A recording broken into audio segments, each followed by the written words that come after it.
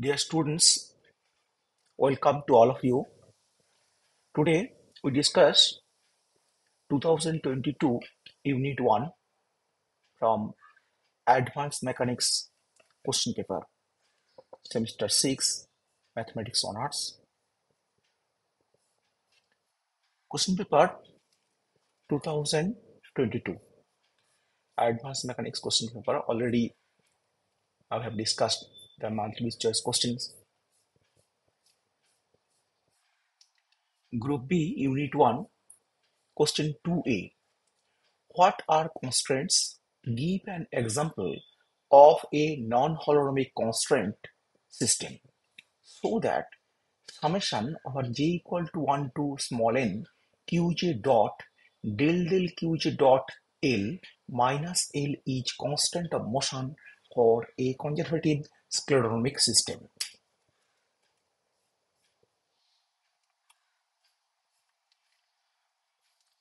Constraints often the motion of a particle or system of particles is restricted by one or more conditions. The limitations on the motion of a system are called constraints and the motion is said to be constraint motion. Example of non-holonomic constraint. The motion of a particle placed on the surface of a sphere of radius a will be described by mod r vector greater than equal to a or r minus a greater than equal to 0 in a gravitational field where r vector is the position vector of the particle relative to the center of the sphere. The particle will first slide down the surface and then fall off. Next part, so that this summation this is a constant motion for a conservative, conservative, conservative scleronomic system. Consider a conservative system so that potential energy V equal to V is a function of Q1, comma Q2, comma Qn generalized coordinates, small n generalized coordinates. Number two, constraints do not change with time, t. That is scleronomic system and Ri vector equal to Ri vector uh, functions of Q1, Q2, Qn do not ch- change with time, so there is no t. And Lagrangian L, this L equal to a function of Qj, comma Qj dot, where n is the number of degrees of freedom. Now, ddt of L equals to summation over j del del qj L ddt of qj plus summation over j del del qj dot L ddt of qj dot. This j runs from 1 to small n. This j equal to 1 to small n. The Lagrange's equation of motion are given by del del qj L equal to ddt of del del qj dot L j equal to 1 to up to small n. Using these from 1, uh, this from 1 ddt of L this equal to summation over j uh, ddt of del del qj dot L qj dot this ddt qj this is qj dot and this del L del qj is the value of this ddt of del del qj dot L. So put this plus summation j over j del del qj dot del ddt of qj dot. This equal to summation over j ddt of qj dot del L del qj dot. So adding these two, two terms. So when uh, we uh, derive this, uh, this ddt of this into this plus uh, ddt of this into this. So this. So summation j over j equal to summation over j, j runs from 1 to small n, ddt of qj dot del del qj dot t. Because, because for a conservative system, this L equal to t minus v. So del del qj dot t because del del qj dot v equal to 0 because this v is a function of q1 q2 qn there is no q dot here So this term is 0. So del del qj dot L equal to del del qj dot T. Hence, ddt of L, this ddt of L equal to summation of our j ddt qj dot pj because pj uh, is the uh, corresponding uh, momentum uh, corresponding to qj this equals to del del qj dot l this equal to del del qj dot so ddt of l minus summation over pj qj dot summation over j is equal to 0 hence ddt of this equals to 0 obviously this l minus summation pj qj dot equal to constant of motion, say capital J say. This is a constant of motion and this constant of motion J, capital J, is one of the first integrals of the equation of motion and is called Jacobi's integral of the system. If all qj's are substituted uh, properly by function of pj, then j is nothing but Hamiltonian h, capital H. This is equal to summation j qj dot pj minus a. Next question 2b. If L is the Lagrangian for a system with n degrees of freedom so that by direct substitution that L less equal to L plus ddt of f uh, q1 q2 qn T also satisfies Lagrange's equations where f is an arbitrary differentiable function of its arguments.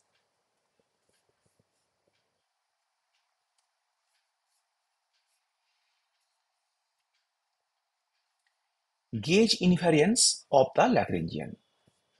First we describe the theorem. Uh, if L is a Lagrangian for a system of n degrees of freedom satisfying Lagrange's equation of motion, then L dash equal to L plus dtf also satisfies the Lagrange's equation of motion where f is an arbitrary differentiable function such that f equal to f functions of q1, q2, qn, comma t. This function f, capital F, is called gauge function for the Lagrangian L and the transformation 1, this transformation is known as gauge transformation. So this is the uh, gauge uh, transformation the invariance theorem for uh, Lagrangian. Proof of this theorem. Now the time derivative of f function ddt of f this is equal to summation over i del del qi f into ddt of qi plus del del t f. So del del tf plus summation over qj dot this del del ddt of qi means qj dot qi dot and del del qi f summation over i. I runs from 1 to small n. Lagrange's equations uh, is uh, uh, for i equal to 1 to n. Ddt of uh, del del qi dot l minus del del qi l equal to 0 i equal to 1 to n.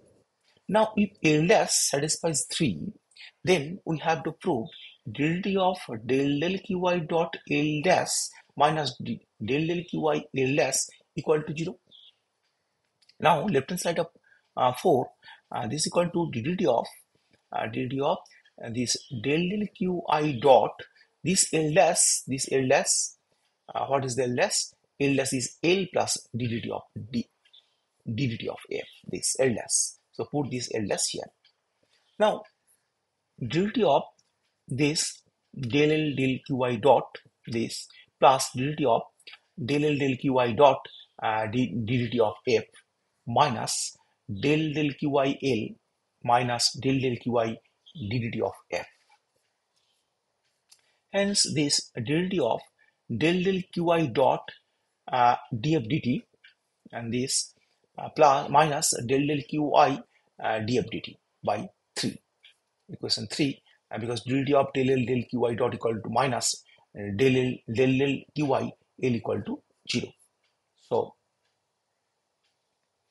so uh, this minus this equals to 0 equal to derivative of del del Qi dot bracket summation over k Qi dot Qk dot del del qkf plus del del tf this minus del del qy bracket summation over k qk dot del del qkf plus del del tf by 2 this uh, ddt of f equal to this. So del del del tf plus summation qy summation over i qy dot del del qy f. We'll put this here. This value of uh, ddt of f and value of uh, ddt of f here put here. After simplification uh, we get uh, this step after simplification and this um, after uh, algebraic simplification uh, we get ultimately this equal to 0 so uh, we get uh, this uh, ddt of uh, del del qy dot del dash minus del del, del qy l dash uh, we uh, shown this is equal to 0 thus l dash equal to l plus dt of f satisfies the uh, lagrange's equation proved next question 2c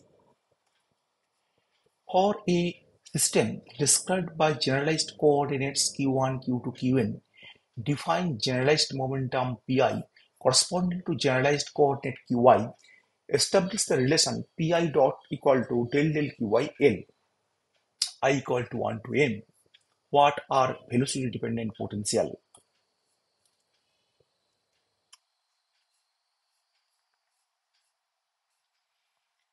generalized momentum consider a holonomic uh, mechanical system with Lagrangian L. L is a function of Qj, Qj dot, and T. Uh, then the scalar quantity Pj defined by Pj uh, equal to del del Qj dot L is called generalized momentum corresponding to the coordinate Qj.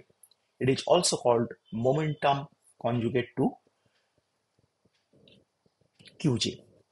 Now we establish pi dot equal to del del qi l, i equal to 1 to n. Lagrange's equation of motion are given by ddt of del del qi dot l minus del del qi l equal to 0, i equal to 1 to n.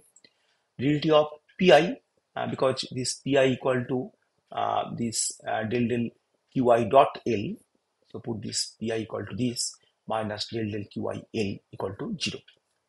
So pi dot equal to del del qi l. Next question, what are the velocity uh, dependent potentials? There are systems whose specified forces are not conservative and so the potential energy V, a function of Q1, Q2, Qn, does not exist. But their equation of motion can still be written in Lagrangian form if it happens that the generalized force capital Qj can be written in the form capital Qj equal to ddt of del del Qj dot capital U minus del del Qj capital U j equal to 1 to small n. For some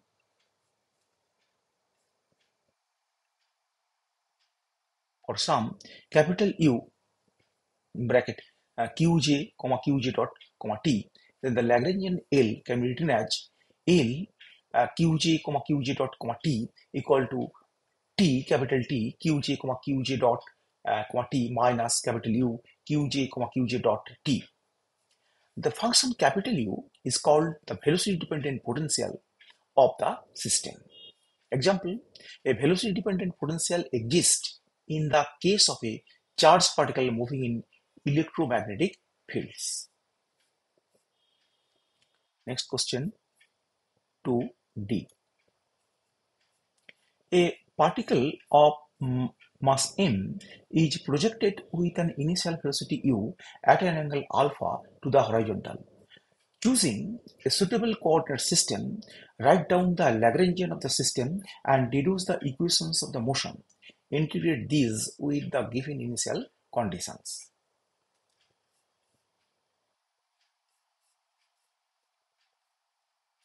Let uh, P with coordinates xy uh, be the position of the particle at any instant t in xy plane. This x-axis horizontal, vertical y-axis, this origin O, this particle uh, projected from O uh, with initial velocity u uh, with an angle with horizon alpha. Now kinetic energy of the particle at this point, this t, equal to half m v square that is equal to x dot square plus y dot square. And the potential energy taking x-axis as the reference level. So uh, particle is in upward direction. These are reference level this. So potential energy is positive here now. This b potential energy mgy because this height is y here. G is the acceleration due to gravity. Then the Lagrangian L is given by L equal to T minus V. This is equal to half of mx dot square plus y dot square minus mgy. Now del del x dot L equal to mx dot. Obviously this half m 2x dot. So obviously mx dot del del x L equal to 0 because there is no x here and del del y dot L equal to my dot and del del y equal to this minus mg. Then Lagrange's equation of motion are given by dt of del del x dot L minus del del x L equal to 0. So this is equal to dt of uh, this value of uh, del del x dot L equal to mx dot. This del del x, x equal to 0. So this equal to uh, mx dot dt of this equal to 0. And uh, so uh, this ddt, so derivative mx double dot equal to 0 that is x double dot equal to 0. And similarly, uh, this derivative of del del y dot L minus del del y L equal to 0 and hence we get y double dot that is d2y dt square plus g equal to 0. Integrating the above equations twice. So first uh, integrating this and next integrating with respect to t this x equal to capital A t plus b and from second this three equation uh, y equal to minus half gt square plus c t plus d where a b c d are constant of integrations which can be evaluated by applying the following conditions. At t equal to 0, at the starting point, this origin, t equal to 0, this x equal to 0 and x dot equal to u cos alpha. So x dot equal to u cos alpha, this initial velocity u. So uh, this direction u cos alpha and this direction is u sin alpha, component of the u at time t equal to 0 at origin. So uh, x dot um, equal to velocity component along x-axis this and y equal to 0 at this origin uh, this and y dot velocity component this yu sine alpha so using uh, these initial conditions uh, 4 and 5 we ultimately get the value of a b c d. And we get x equal to u cos alpha t y equal to u sin alpha t minus half gt square. And from 7 this equal to y u sin alpha and value of uh, t is this x by u cos alpha put here. Uh, t uh, u x by u cos alpha. And after simplification we get x tan alpha minus half gx square by u square cos square alpha which is the desired equation of the path followed by the projectile and is a parabola is the parabolic path. Hence this completes uh, the unit 1 2022 advanced mechanics. Thank you for watching this video